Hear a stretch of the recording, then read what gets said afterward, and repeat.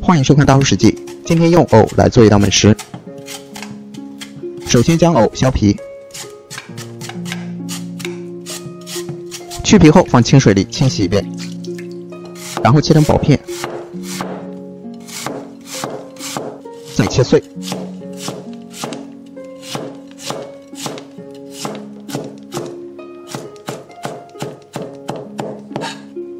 切完后放入一个大盆里，准备一点五花肉剁成末。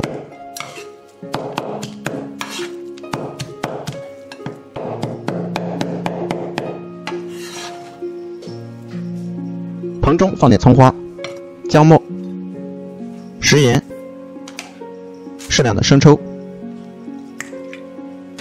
老抽、花椒粉、芝麻油。适量的食用油，用筷子搅拌均匀。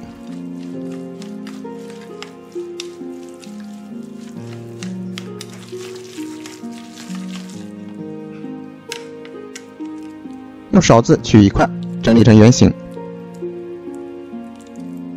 放进提前泡了两个小时的糯米里，裹上一层糯米。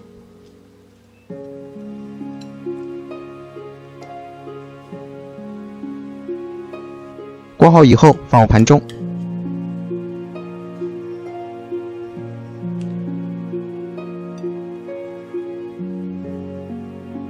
放好以后，放上蒸锅，大火蒸二十分钟。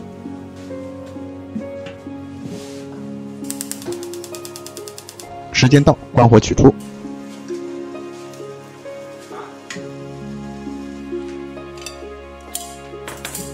撒上一点葱花。美味的糯米肉馅丸子就做好了，吃起来外糯里香，营养解馋，喜欢就赶紧试试吧！